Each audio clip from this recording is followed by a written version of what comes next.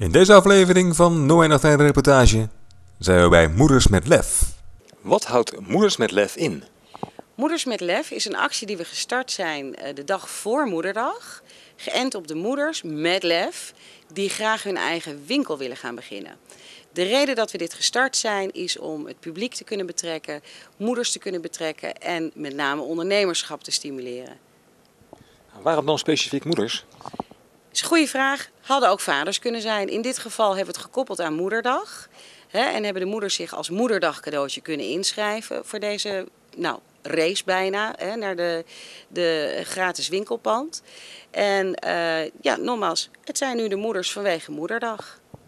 Er zijn nog zeven moeders in de race voor het gratis winkelpand. En ik wil wel eens weten waarom ze meedoen. Ik speel heel lang al met het idee om een winkel te beginnen in de uitvaart. En toen kwam ik de folder uh, tegen en toen had ik van, yes, dat is voor op mijn lijf geschreven. En ik wil graag een experience store, een belevingswinkel in groene cosmetica, wat goed is voor je huid. Ik zou heel graag een Spijkenisse hier een uh, winkel openen. Uh, in die winkel zou ik graag uh, mezelf gemaakte sieraden zeg maar, gaan verkopen. Die ontwerp ik zelf. edelstenen hangers, omwonden met goud en zilverdraad, ook met parels erin verwerkt. Omdat ik vind dat er in Spijkenisse een speelgelegenheid moet komen voor kinderen. Hier in Spijkenisse hebben wij dat dus nog niet. En er zijn veel gezinnen die stad en land af moeten reizen om ja, dus een speelgelegenheid te kunnen bereiken. Ik doe mee omdat ik een half jaar geleden ben wezen kijken in het nieuwe winkelcentrum voor zelf een pandje te openen. Maar in deze tijd van economische crisis durfde ik het niet aan. Nu krijg ik de kans om een half jaar te proberen, dus ja, die grijp ik met twee handen aan. Omdat mijn droom een, winkel, een winkel beginnen is en een winkel beginnen met gadgets. Dit is voor mij een hele unieke kans om hier een kinderopvang voor het winkelpubliek te openen. En deze kans kon ik gewoon niet laten schieten. Een race naar een gratis winkelpand. hoe gaat die race in zijn werk? De race is gestart met de inschrijving. Die zag er eigenlijk vrij simpel uit. Hè. Je moest je eh, vertellen wie je bent en wat je winkelidee is. Daar heeft een selectiecommissie heeft daar zeven kandidaten uitgezocht. Die zeven kandidaten die zijn goed voorbereid, gestart vandaag met presenteren. De presentatie was naar het publiek, hè, want we betrekken het publiek er heel erg graag bij. En de dames hebben vandaag heel stoer met heel veel lef in een elevator pitch gestaan, die echt letterlijk was. Want ze stonden in een schaarlift. Een elevator pitch. Uh, voor kijkers thuis, kun je uitleggen wat dat is? Ja, dat is eigenlijk in uh, tussen de 40 seconden en maximaal 2 minuten vertellen waarom jouw plan fantastisch is. En tijdens deze elevator pitch is het de bedoeling om de jury te overtuigen. En daar werd van alles weer uit de kast getrokken.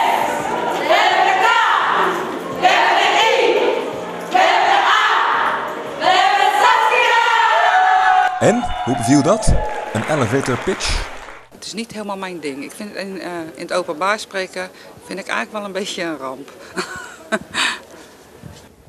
uh, nou, voor mijn gevoel ging het wel goed. Ik heb uh, getracht om mijzelf neer te zetten. Want je moet eerst jezelf verkopen voordat je ook ja, een winkel kunt beheren. En ik hoop dat dat ook overgekomen is bij het Spijkenisse publiek.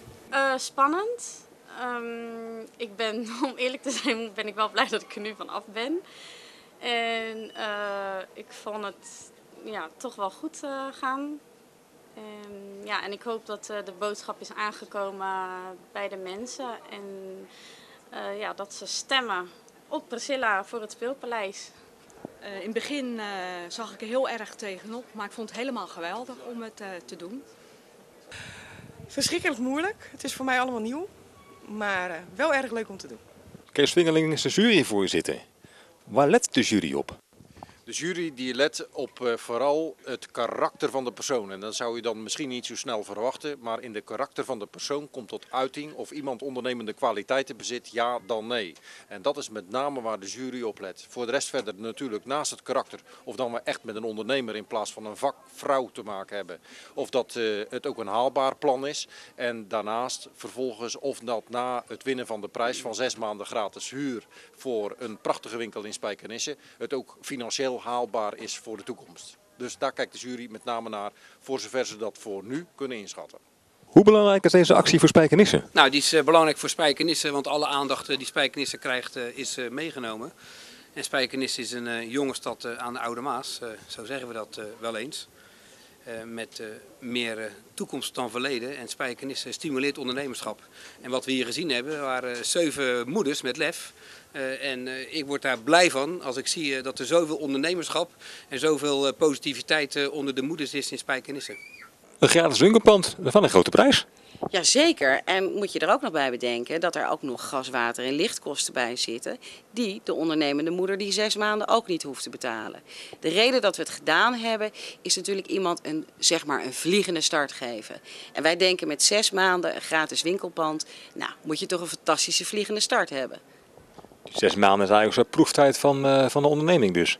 Ja, zo kun je het wel zien. Proeftijd voor de onderneming, proeftijd voor het publiek natuurlijk ook. Hè? Het publiek moet jouw winkel ook gaan bezoeken en aantrekkelijk gaan vinden. Nu wil ik van de kandidaten weten wat voor winkel zij in Spijkenisse zouden willen vestigen. Uh, nou, wat ik belangrijk vind is uh, dat het een experience store is. Dus je komt in een sfeervolle ambiance waar je de producten kunt ruiken, voelen en proeven. En uh, kunt ervaren wat je graag wilt hebben. Uh, in combinatie ook met een uh, webshop, uh, in de winkel kijken en thuiskomen en beslissen waar je aankoop wilt doen. Dat is eigenlijk de toekomst van het nieuwe winkelen. En dat is wat ik graag wil voor zowel mannen als vrouwen. Mannencosmetica is een groeimarkt. de heren gaan zich ook steeds meer beseffen dat ook hun uiterlijk belangrijk is voor zichzelf en voor dames. En ja, daar wil ik hen graag mee helpen, want ook in mijn winkel ga je een aparte very important men corner vinden. Waar je bijvoorbeeld een uh, lekkere scheerbeurt kunt ervaren. En advies krijgt over producten van de net nieuw gelanceerde natuurlijke mannenlijn. Die ik dan graag in het schap wil hebben. Um, ik wil met de winkel wil ik, herdenkingssieraden, uh, herdenkingsurnen. maar ook er is zoveel meer te doen om iemand te herdenken. Denk hierbij aan driedimensionale foto's, uh, dingen van glas waar assen meegeblazen kan worden. Maar dat kan ook inderdaad een vingerafdruk zijn of een stukje haar waarmee gewerkt wordt. Uh, het moet een indoor speeltuin worden. een plek waar een kind gewoon kind kan zijn. Wat gewoon ook echt helemaal gericht is op het kind. Ehm, ja, waar ze veilig ook kunnen spelen. En dat is ook ja, wat het belangrijkste is. En ook waar natuurlijk uh, de ouders nog kunnen genieten van een kopje koffie of een kopje thee en wat bij kunnen kletsen. Terwijl de kinderen aan het spelen zijn. Een indoor speel, uh, speelpaleis, zeg maar. Uh, wat kom ik er tegen? Een hele grote ballenbak? Onder andere. uiteraard ook springkussens, trampoline. Uh, glijbanen, noem maar op. Ik wil graag uh, outlet uh, kinderkleding verkopen van topmerken, topkwaliteit voor betaalbare prijzen. Het wordt een, een, echt een hele chique winkel met een mooie, goede uitstraling. waar de klanten niet denken dat ze uitverkoop kopen. Het wordt gewoon een, een mooie, gezellige winkel met goede kwaliteit kleding voor kinderen van 0 tot en met 12 jaar. Uh, er zijn weinig uh, kinderkledingswinkel uh, met topmerken voor een hele lage prijs. En daarmee wil ik mij onderscheiden. Gadgets, wat moet ik me daarbij voorstellen? gadgets zijn zinnige dingen, onzinnige dingen, maar allemaal met een tikje techniek. Kun je voorbeelden geven? Um, neem bijvoorbeeld een paraplu met ledverlichting. Heel makkelijk voor s'avonds als het regent. En je gaat de hond uitlaten dat je dus niet ergens in gaat staan, zeg maar. Of pantoffels die je kan opladen via een USB en heerlijke warme voeten geven. En zowel deze armband. Deze armband die eh, gaat trillen als je telefoon eh, afgaat. Uh, ook wil ik heel graag in die winkel um, gaan verkopen. Zoals bijvoorbeeld tassen, um, woonaccessoires, houten, houten accessoires. Fairtrade betekent eerlijke handel. Dus de, de, zeg maar, de opbrengst gaat naar de juiste personen. Uh, ook zou ik zeg maar, lederen accessoires willen verkopen. Zoals portemonnees, uh, kleine tasjes. Uh, uit eigen ervaring en behoefte weet ik dat het fijn is als je rustig kunt shoppen. En met een kind van drie, want ik heb namelijk een dochter van drie, is dat heel erg moeilijk. En ja, zij houdt gewoon van spelen en is echt eigenlijk heel erg uit op ontdekking. En dan zit je continu achter haar aan van niet hier, niet daar, niet daar. En op een gegeven moment dacht ik, er moet toch wat zijn dat je zegt van hè, dat ik even rustig kan shoppen. Zonder dat die kleine aanwezig is. En ja, toen dacht, kwam ik op het idee van kinderopvang voor het winkelend publiek. Dat zou gewoon ideaal zijn. Nou, thuis kan de buurvrouw er ook even op de kleine passen? Ja, dat klopt. Maar ja, dan moet je dus weer iemand gaan lastigvallen. En het is niet altijd een buurvrouw. Dus ik vind het fijn dat ik dus, ja, zeg maar, mijn kleine ook in de buurt heb. Terwijl ik ook leuke dingen aan het doen ben. Deze dames hebben vandaag de pitch gedaan. Fantastisch gedaan overigens. En vervolgens gaat de jury zich nu beraden over de stemmen die zij hierover uitgeven. Dat is 50% En de andere 50% dat wordt heel spannend, want dat is de komende week met het publiek. Het publiek kan via www.spijkaart.nl op de kandidaat klikken. Dat zijn de plaatjes van de kandidaten. En kan daar het filmpje nog even terugzien van de pitch. Dus dat is natuurlijk hartstikke leuk.